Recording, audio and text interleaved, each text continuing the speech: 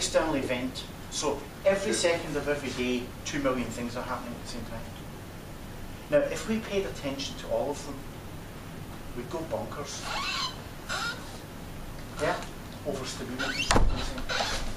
So we don't, which is a good thing. But think about it. How many of you can now hear the air conditioning?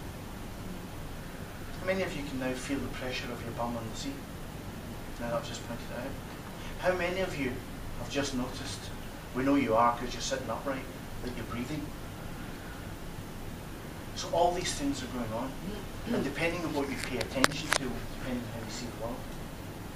And we all pay attention to different things. So two million bits. Now, study in the late 50s showed that actually we can't take it all in. Good idea. Because we'll go nuts. So we all take in what we, what we call seven plus or minus two chunks of information. Bits. We of group it together and we take in. So most of it disappears. So we only take in seven plus or minus two chunks. Which is why if you have a presentation, if you're doing anything, the if you're one of these people or you've been if you've been to one of these death by PowerPoints where somebody puts up a slide that has zillions of bits of information just so they get it all in. Well, most people can't read it. Well, in fact, nobody can read it. Because you can only take in seven plus or minus two chunks of information at any one time. And when you're in a positive, really feeling good, it's seven plus two chunks, so nine bits of information. And when you've been out the night before, or you've had a curry, or you've been kept awake all night with a screaming kid or something, you're probably at minus two, if not minus five. Because we can't everything. But there are days, you've had them. Those days when you can walk on water. Everything goes brilliantly. You've had them? Never? No. Once? Surely once. There was a day when you were 10 and you thought, wow, I can do anything. May not have happened for years. So that's where 7 plus. And those days where somebody said 2 plus 2 and you went, I'm out here, too hard. And uh, those two days. So we all have them. The thing is that often people try and do the most important thing in the world when they're 7 minus. And it never works. It Never works well. So a suggestion is stop it. Very therapeutic. Just stop it because it won't work well. So we take it in. And we take it in by doing three things to it.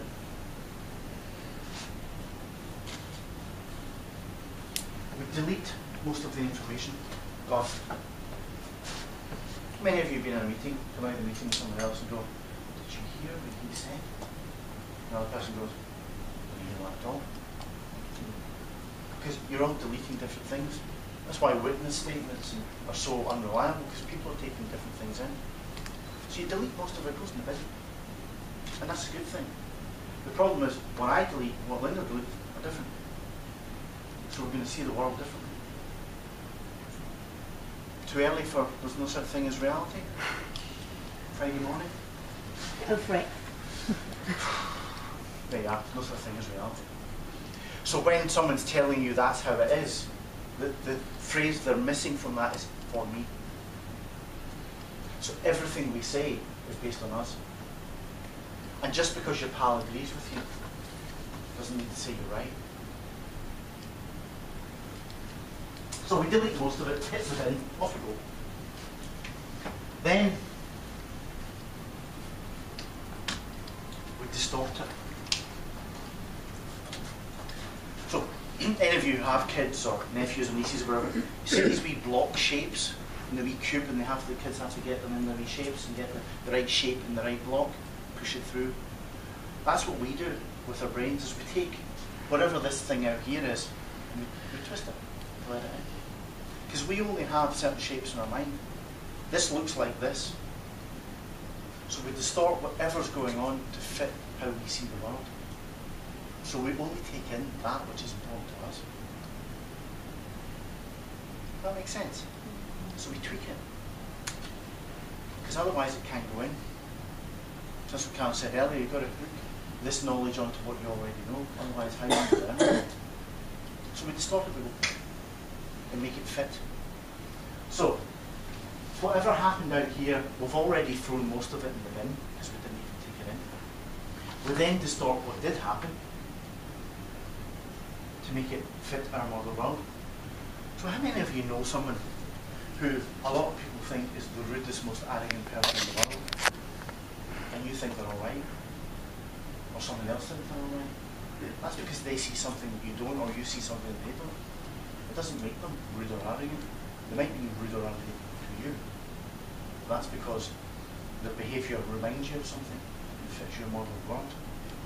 You know, there is a rumour going about that all Scots people are mean. I'm not buying that.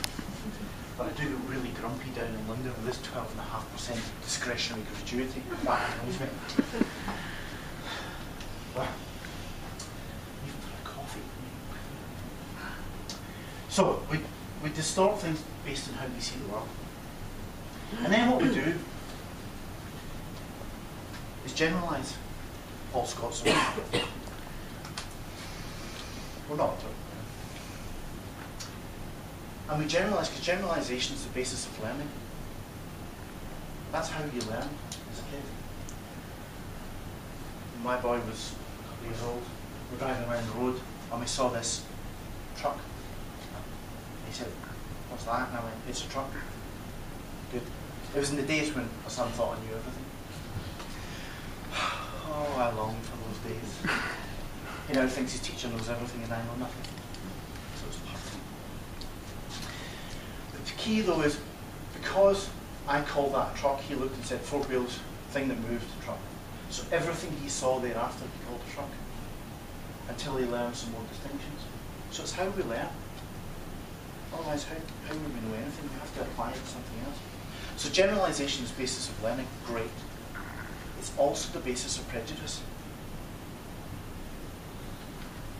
So it has two things. So it's really unhelpful at the same time. People who don't like people who are loud might call them arrogant. Someone else might call them confident. But they're doing the same behaviour. So who's right? Nobody. Just how you see it. That makes sense.